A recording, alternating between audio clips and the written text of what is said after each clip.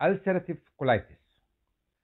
Uh, fulminant disease correlate with more than 10 bowel movements uh, per day or continuous bleeding or toxicity, abdominal tenderness and distension.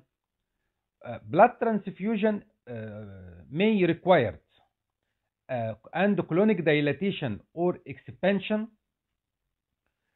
So, people with fulminant ulcerative colitis may have inflammation extending beyond just the mucosal layer, causing impaired colonic motility and leading to toxic megacolon. Uh, ulcerative colitis may improve and enter remission. Remission of the disease is characterized by formed stools. So, what about the extra intestinal manifestation?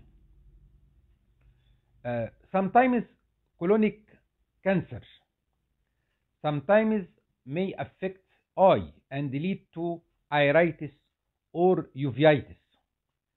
Sometimes uh, associated with primary sclerosing cholangitis. Sometimes associated with ankylosing spondylitis. Sometimes associated with pyoderma gangrenosum. Sometimes associated with erythema nodosum.